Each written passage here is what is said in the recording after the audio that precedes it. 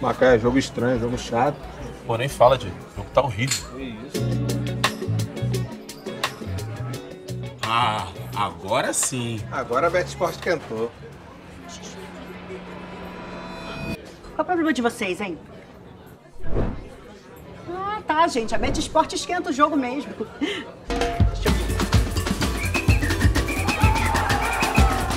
Bet Sport, sempre esquenta o jogo. Os donos da bola interior, com Caio Sorriso. Oferecimento Bet Sport, sempre esquenta o jogo.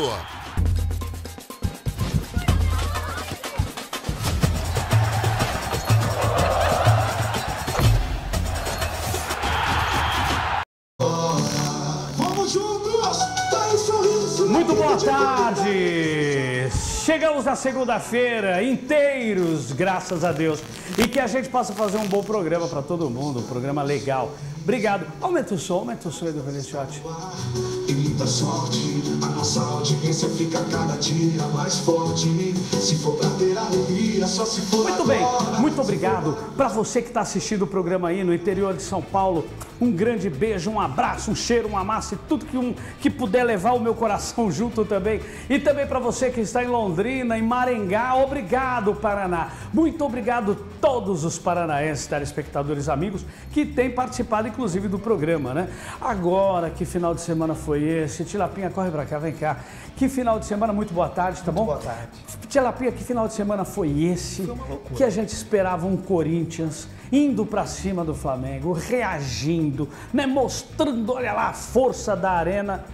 E não, foi, nada disso que a gente Foi. viu. E teve vantagem com a expulsão do Bruno Henrique, mas mesmo assim não surtiu efeito nenhum. Tá vendo? Procurou. Pois é, aliás, que. E ainda o Bruno Henrique falou que não, que não. Não, foi desleal. Que foi não, desleal. não, não, não, não fiz, eu fiz sem querer, foi sem querer, Desleal. não foi, foi sem Desleal. querer. Você chegou a ver Cheguei a a ver. foto na internet, a gente não tem como mostrar aqui, do, da- do corte da cabeça, na cabeça do Mateuzinho. É o vídeo, mostra um corte muito grande, horrível, horrível. horrível, Não realmente algo assim, olha, para você ter uma ideia, você aí de casa, metade da cabeça dele praticamente abriu naquela pancada. E gozado que a gente vê pela TV, não parece. Não né? parece, parece só um toquezinho. Parece que foi um toque. Agora eu digo pra você, nenhum jogador com a experiência que tem o Bruno Henrique pratica um ato desse, me desculpe, me desculpe, porque ah, foi sem querer, foi inocentemente. Eu não consigo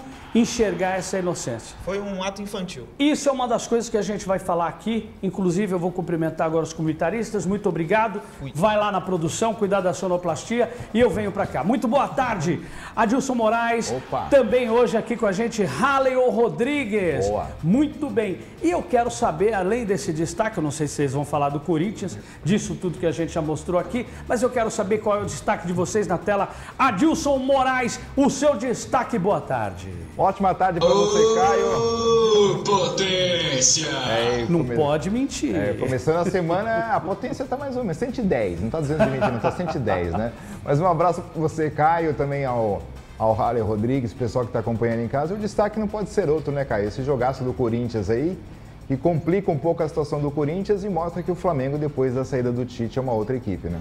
E eu vou te falar um negócio, pelos, pelos argumentos, pelas reclamações do Marcos Braz, o Atlético Mineiro que fique atento aí, viu? Porque ele disse que já vai bater lá na porta da CBF, porque é, é do lado, né? Você sabe que o Flamengo ali, tudo a CBF é ali, né? É ali no mesmo corredor. No quase. mesmo corredor. É. Quer dizer, só muda a sala. muda a sala. Aí o que, que acontece? O Marcos Braz já falou. Tem aí a imagem do Marcos Braz aí?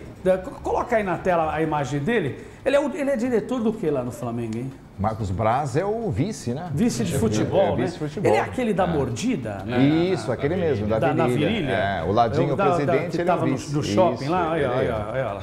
Ele lá. ah, que é isso. Que é isso, o que vocês fazem?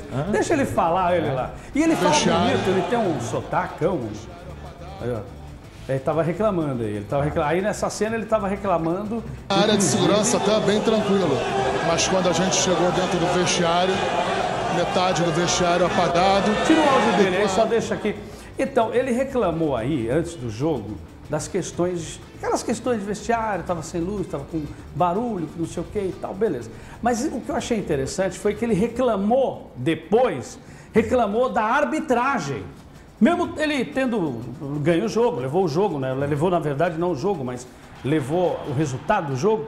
E ele reclamou, ele disse que aquela mão do, do, do, do Garro, né? Foi pênalti, aquilo ali. Aquela jogada foi um pênalti. Aí eu queria analisar com vocês isso também, se ele tem razão nisso. Que ele reclamou de que teria sido pênalti e depois uma jogada em cima do Arrascaeta também que foi pênalti. Agora, de verdade, Halle Rodrigues, muito boa tarde. Boa tarde. Como vai o senhor? Tudo, Tudo bem? bem, graças a Deus. Você viu alguma irregularidade tão assim arvorenta, tão pesada que pudesse ser dito aqui no programa em relação à arbitragem? Não, não. Mas é aquilo, né, Caio? Nenhum dirigente acaba reclamando do jogo que aconteceu, já está reclamando pro próximo, né? Isso daí é uma célebre frase do Tele Santana, né? Eu não reclamo para hoje, eu já estou reclamando pro próximo jogo eu não ser prejudicado. Né? E o seu destaque de hoje, o que, que você diria, Halle? Boa tarde, Caio. Boa tarde, Adilson. Boa tarde a você de casa que nos prestigia com essa audiência. Que beleza, hein? Assim é beijo pra audiência. Eu vou dar o destaque do Pantera, Caio. Pantera que foi até Recife e acabou tendo um jogo difícil né, contra o esporte, como a gente já imaginava, e saiu derrotado e está flertando novamente com a zona de rebaixamento.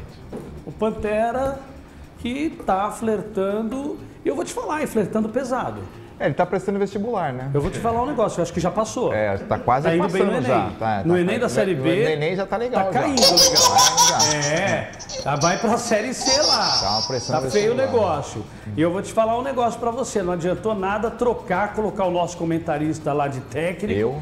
Não, é, você é a cara do Marcos Zanardi, né? Sumi não lá. adiantou nada porque, na verdade, é, o, o Botafogo é é uma daquelas coisas que eu acho interessante. A gente sempre, eu sempre falei isso aqui, vou repetir novamente. O Botafogo, quando ele jogou na Copa do Brasil contra o Palmeiras, parecia que vinha um Botafogo aí numa crescente pesada, o Negueba jogando bem, os Alas atacando bem. O que, que aconteceu ali, rapaziada? Olha, eu acho que ali passou uma certa ilusão para o seu torcedor. Teve uma sequência de quatro ou cinco vitórias consecutivas também com Paulo Gomes, com o português. Naquele momento ele parecia que de fato o Botafogo ia reagir, mas não, né? É, Acabou perdendo jogadores, jogadores contundidos, jogadores lesionados. Depois, na janela de transferência, perdeu algumas peças e as que chegaram acabaram não correspondendo. E aí, Caio, quando entra numa espiral negativa, fica difícil de você reagir. Mesmo com a chegada do Márcio Zanardi, que é um treinador experiente, mas o elenco já está formado, né? É difícil você mudar essa mentalidade, é, colocar na cabeça do jogador que dá, que é uma equipe vencedora, quando você vem de uma sequência tão difícil e ali muito próximo da zona de rebaixamento. Esse jogo do esporte e do Pantera já era mais ou menos previsto de que Já, aconteceria isso. já, porque o esporte vem colando, embora venha. O último jogo do esporte foi derrota, né? Perdeu o operário. Exatamente, perdeu para o operário do Paraná. Só que o esporte vem para cima, está chegando, chegou, já está na área de classificação, não é isso? Vice-líder. Vice-líder. né? O Santos continua líder, né?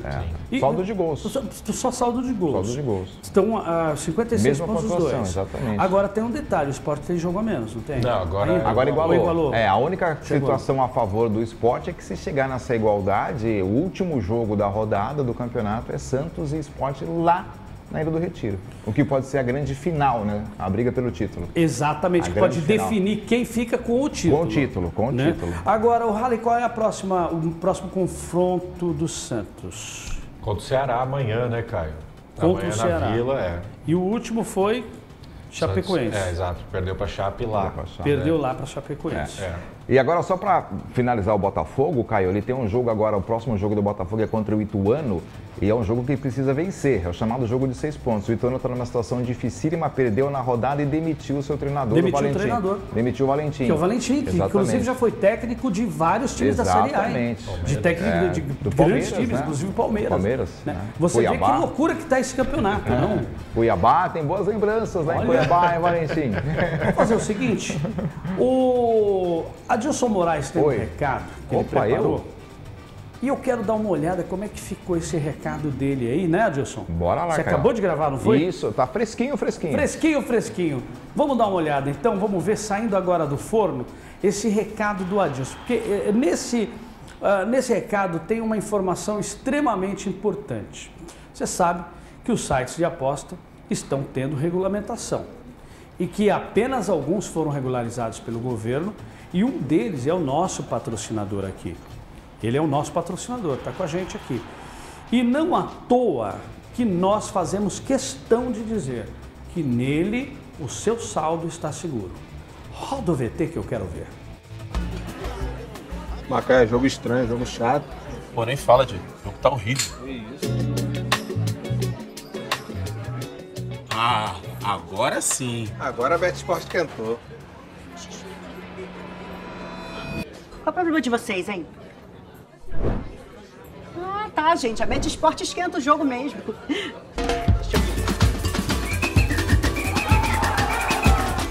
Bet Sport, sempre esquenta o jogo. Olá, meu amigo torcedor! E aí, tudo bem com você? Bora pra Bet Sport, o maior cassino online do Brasil. Aqui a navegação é muito fácil. Aqui também você tem saque rápido. E aqui na Bet Sport, sempre as melhores odds. Olha só, hoje tem um super jogão pela Série B. Bora apostar? Tem Chapecoense e Goiás. Time da casa, hein? Chapecoense tá pagando 2,55. O empate, 2,95. E pro Goiás, 3,10. E aqui na Bet Sport, o seu dinheiro está seguro, é regulamentada pelo governo federal. Então você já sabe, né? Aponte a câmera do seu celular que aparece no QR Code da sua tela e bora! Bet Sport esquenta o jogo. Bet Sport, aqui o seu dinheiro é seguro.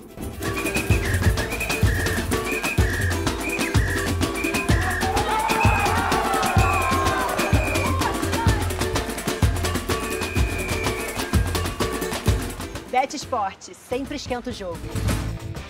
Muito bem, vamos fazer o seguinte, vamos dar uma olhadinha então como é que ficou aí o jogo do Botafogo de Ribeirão Preto e do Esporte de Recife pela Série B. Roda o VT que eu quero ver. O Esporte abriu o placar com Fabrício Domingues.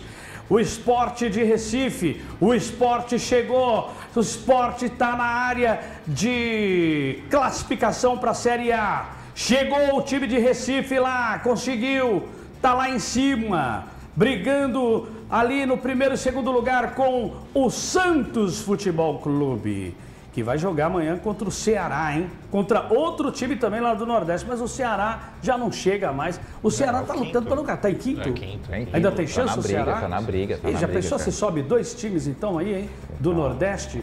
Ah, e, e tudo ali, ó, pertinho. Vamos, vai ter micareta. É uma rivalidade muito grande entre Vai eles. ter né? micareta. Bom, muito bem. O Leão do Recife fez o segundo com o ex-coritiano Christian Barleta. E o Pantera diminuiu com o Bernardo. Muito bem, nós estamos vendo as cenas aí, ó. Vamos lá. As cenas. Muito bem. Ô, Adilson Moraes. Oi. Como é que tá a situação do Pantera, então? Bem complicada, A né? situação do Pantera é dificílima, né, Caio? Porque, pra mim, demorou demais pra fazer essa troca de treinador do Paulo Gomes. Foi o Paulo Gomes que, que ajudou a montar esse elenco.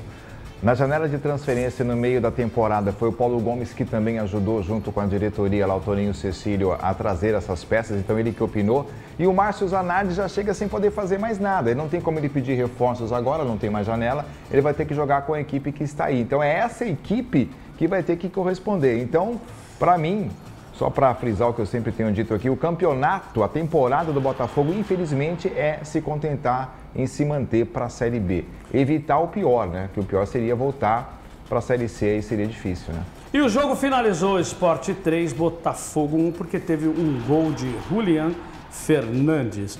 Agora vamos lá, vamos pro Corinthians, então vamos falar de Corinthians, vai. Vamos ver a classificação do Corinthians lá. Corinthians e Flamengo, olha, muita gente estava falando, eu ouvi muita gente falando, o quê? Só um gol de vantagem? Tá fácil pro Flamengo, tá fácil pro Corinthians. Dentro da arena, tá fácil. Que jogo que a gente viu, Ale Rodrigues? Roda o VT que eu quero ver e põe o GC na tela. Não deu pro Corinthians. Corinthians teve uma má jornada do Rodrigo Garro, sobretudo, né, Caio? O Garro é o articulador de jogadas da equipe corintiana e ele estava num dia ruim, num dia infeliz. Romero parece que voltou ao normal também, jogou mal demais. O Yuri Alberto. Voltou ao normal. É, o Yuri Alberto não teve tanto grande destaque. O Thales Magno, que foi a novidade do Ramon Dias, ao meu ver equivocada, jogou mal também. Ele não poderia ter sacado o André Carrilho, que estava tão bem, que jogou tão bem Concordo, contra o Atlético. Paranaense. Sacou o Bidon também, então não entendi. Então eu achei equivocadas as escolhas do Ramon Dias. E posteriormente, depois da expulsão do Bruno Henrique, o Flamengo chamou o Corinthians, só que o Corinthians não teve capacidade para infiltrar na defesa do, do, do- do- do Flamengo. Eu queria fazer uma pergunta para vocês. Nós tivemos um grande momento, tá? É, dele ali no meio do campo, que inclusive devia estar no lugar do Paquetá, qual que é o nome dele? Gerson. Tá, nós tivemos um grande momento do Gerson, nós tivemos um Corinthians sendo Corinthians, ou nós tivemos um Ramon Dias sendo Ramon Dias? O que é que aconteceu no ponto de vista de vocês aí? Olha, pra mim eu acho que o Ramon Dias ele erra quando ele tem um jogador de vantagem a mais durante a expulsão ali do Bruno Henrique, no momento da expulsão do Bruno Henrique, ele não mexe no time. Ele só foi mexer no time no intervalo. Ele demorou demais. Assim que ele ficou com um jogador a mais em vantagem numérica, ele deveria ter mexido no jogo, deveria ter colocado aí é, mais um meio campo. Ele colocou o Martinez e o Charles, né, para jogar no meio campo, são jogadores que correm, marcam, são voluntariosos, mas não são amadores. E aí, como o Rally disse, o Garro não fez uma grande partida, que o Garro ficou completamente sobrecarregado de ser o grande mentor dessa equipe, né? Cara, eu vou dizer para vocês que eu esperava um Corinthians melhor. E terminou eu, o jogo eu com me decepcionei cinco- muito nesse jogo. Terminou aí. o jogo com cinco atacantes do Corinthians, né? E aí, Eu, eu- teve um momento que o, o Flamengo, sem atacante, botou o Corinthians na roda. né? O Felipe Luiz optou tirar o ataque, né? Ele eliminou o ataque. isso, ele tirou, o ele tirou o Gabigol porque entendeu que o, Gabo, que o Gabigol ficaria isolado ali se ele tirasse, por exemplo, o meio, meio campo. Então ele tirou o Gabigol e manteve o Arrascaeta. Jogou muito esse. É o Wesley, né? Esse menino aí. E aí o Arrascaeta, bola, hein? junto com o Gerson, numa, numa tarde assim, inspirada do Gerson, para mim um dos melhores jogos do Gerson com do. Flamengo. Aí conseguiu resistir e o Corinthians não foi feliz, como disse o Haller, né? não teve competência para penetrar essa linha de cinco aí do Flamengo, né?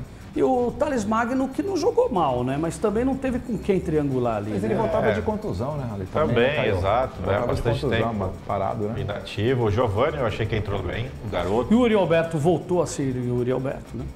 Que nós conhecemos. É, o Yuri é isso, né, Caio? Não dá pra esperar grandes atuações do Yuri Alberto. Ele é matador, mas de vez em quando ele tem algum problema com a bola. Ele é tão matador que às vezes ele se mata, né? E mata Ó, o time, né? Hã? Mata o time, né? E mata o time. Ele é matador, né? É De verdade. Mata o torcedor E o Corinthians, se você parar para pensar que o Corinthians precisava apenas de um gol e que ele ainda teve ali o reforço do Bruno Henrique, né? Porque o Bruno Henrique jogou pelo Corinthians, da atitude que ele tomou. né?